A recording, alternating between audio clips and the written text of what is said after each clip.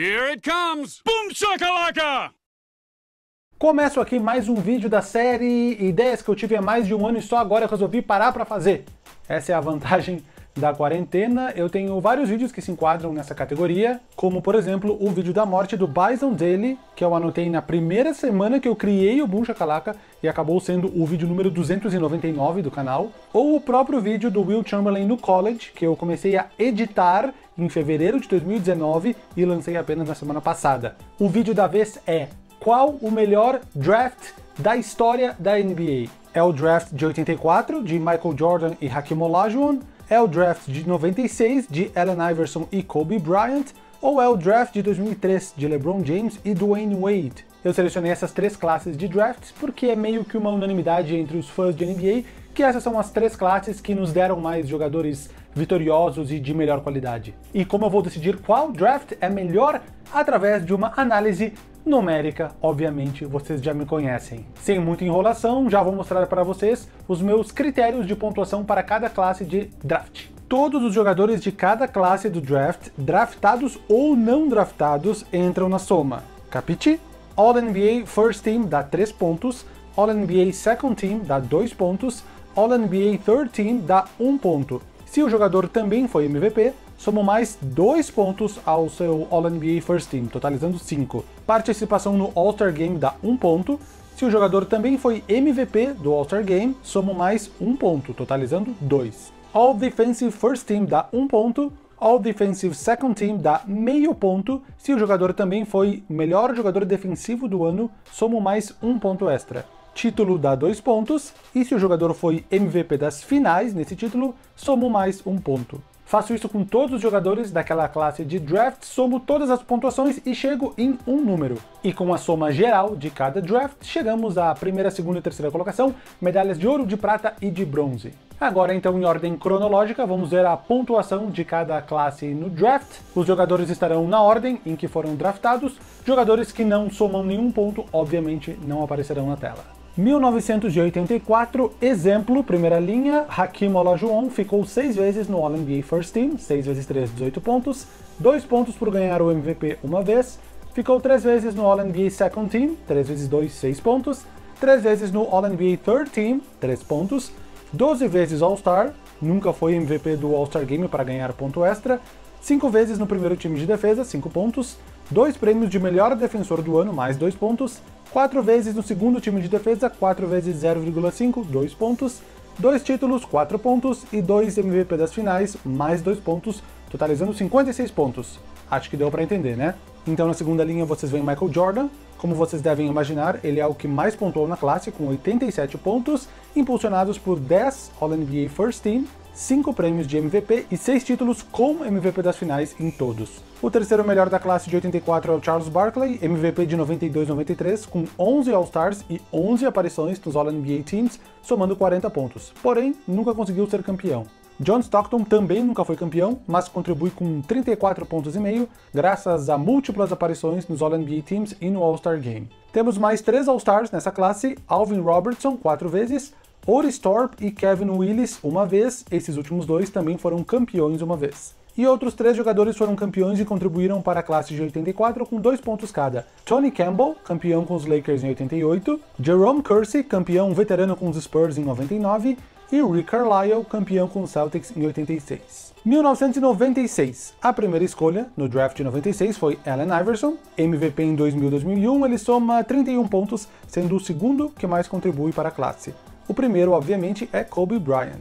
18 All-Star Games em 20 temporadas, 11 vezes nos times All-NBA, 5 vezes campeão, 2 vezes MVP das finais, com 85,5 pontos, ele quase chega em Michael Jordan, ficando apenas um ponto e meio atrás.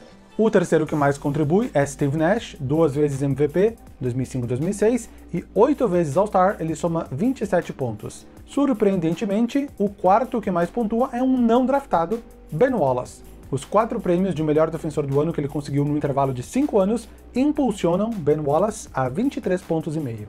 Vale destacar Ray Allen e seus 10 All-Star Games e 2 títulos, Jermaine O'Neal, que soma 10 pontos com All-Stars e All-NBA Teams, e Derek Fisher, que acrescenta 10 pontos à classe com seus 5 títulos pelos Lakers. Pausem se quiserem analisar a classe com mais calma, porque aqui são 18 jogadores diferentes que pontuam, em 84 eram apenas 10 jogadores. Por fim, a classe de 2003. São 22 jogadores diferentes que pontuam de alguma forma, mas são apenas 4 jogadores que acrescentam mais de 6 pontos. LeBron James é o líder disparado da classe, 12 vezes nos times All-NBA, 4 MVPs, 3 títulos com MVP das finais, dentre outros, soma 82 pontos e meio até esse instante. Se confirmar o All-NBA First Team nessa temporada, empata com Kobe Bryant. Se for campeão com os Lakers, passa Michael Jordan.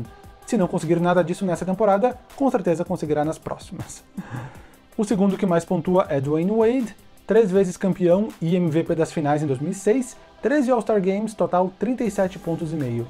E outros dois que pontuam mais que 6 são Carmelo Anthony, 18 pontos vindos todos de conquistas individuais, e Chris Bosh, 17 pontos, incluindo dois títulos.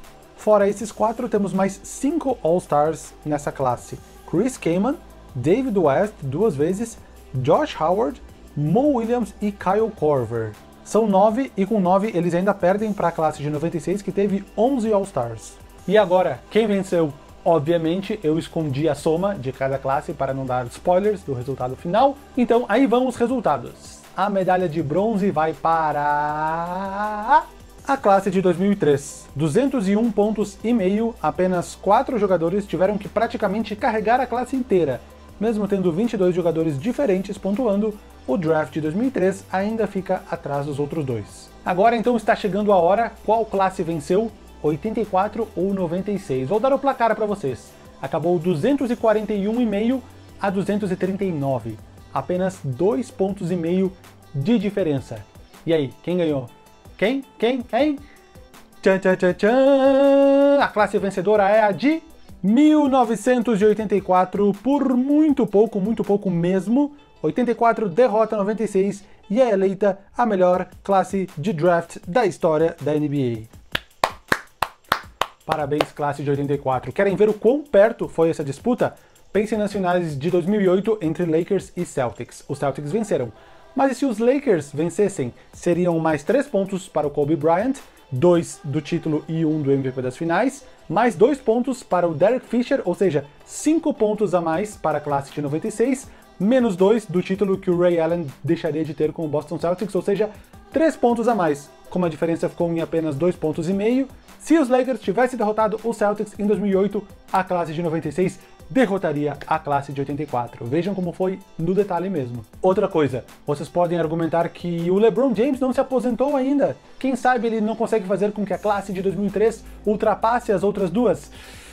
Isso não vai acontecer não. LeBron James tem 82 pontos e meio em 15 temporadas. Ele precisaria mais 40 pontos e meio para ultrapassar 1984 e levar o título. Acho que isso não vai acontecer não. Os outros jogadores em atividade da classe de 2003 são Carmelo Anthony, Zaza Pachulia e Kyle Korver. O máximo que sai daí é um título do Kyle Korver com o Milwaukee Bucks nessa temporada. Então é isso. Os números comprovam a classe de 1984 é a melhor da história da NBA.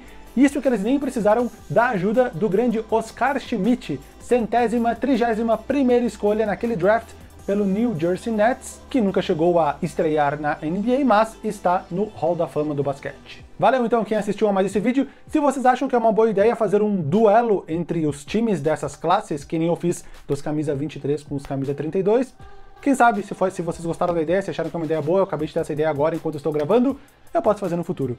Digam aí. Valeu então, quem assistiu mais esse vídeo no Boom Chacalaca, quem não é inscrito se inscreve, quem não deu like dá like, quem não gostou dá dislike.